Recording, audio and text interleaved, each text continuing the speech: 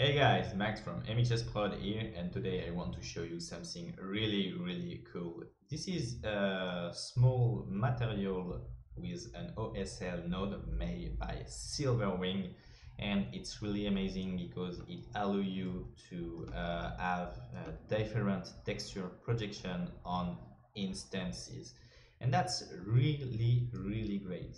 You can see how it works by opening the node editor you have uh, like this um, OSL texture projection and it can uh, just project uh, any kind of uh, image texture on your your instance. And that's really cool because it's something uh, hard to do when you want to have different texture projection with instance. And actually uh, Raphael made it for the community so I want to give him a big hug and you can uh, check out his post in the Octane Render group. You can uh, put uh, j'adore on his post. And nothing by myself or anything, just I want to make this video to spread a bit uh, what it does for the community because I think that's uh, really incredible to have a great artists like him sharing resource and stuff and for free. I mean, it's really great so I will uh, copy paste this inside the description and just check his website uh, give him some love follow him follow him on Instagram and uh, everything. And you can find on this website and under free stuff really uh, cool things you can find. Uh, yeah it's a bit old but he made an uber shader made some things that was uh, helpful to me back in the time. Can check his work and also great great uh, tips also on triplanar ma mapping and few other tips that can be really uh, helpful. So it's really easy to to do. Just you can uh, download uh, the material and when you when you have it I recommend you to go in uh, your content browser. You need to go under File and you can create a new preset library.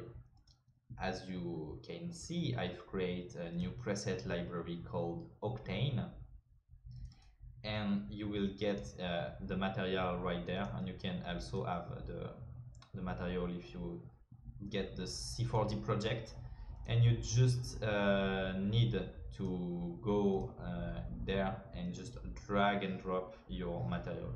It's really simple. And every time uh, you will open your C4D uh, every new time every new project you will be able to go on content browser presets and find this nice material and apply it on every of your mesh with instance so it will work only if you are uh, in uh, instance uh, render instance mode. Uh, so you can see uh, here I have my uh, different cubes just to to avoid the, um, some mistakes. Yeah you see a lot of cubes. I can launch Octane. Wait a bit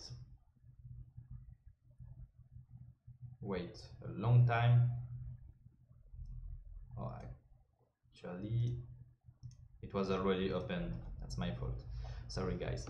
Um, so if I drop it you will see that each material have the same projection. It's because it's made to work with render instances. And now you can see that it changed and the dif difference because between instance and render instance is that render instance uh, takes by far less memories and it's really important to optimize your scene uh, with Octane. And uh, thank you guys for watching this small video. It was uh, really small. All the credits goes to Raphael Rau, Silverwing check out this website. And if you are new to the community feel free to check out our facebook group called motion designers community. We have a, a discord as well. And we are making um, great stuff sharing great stuff. You can also join the octane render uh, Discord, a lot of uh, nice people uh, and stuff, and also you can join the, the Octane Render group. It's an amazing group. uh, to share your work and uh, find inspiration, meet new people. Um, actually, Octane have, have a, a, really, really good community. Thank you for watching this small video and uh, goodbye.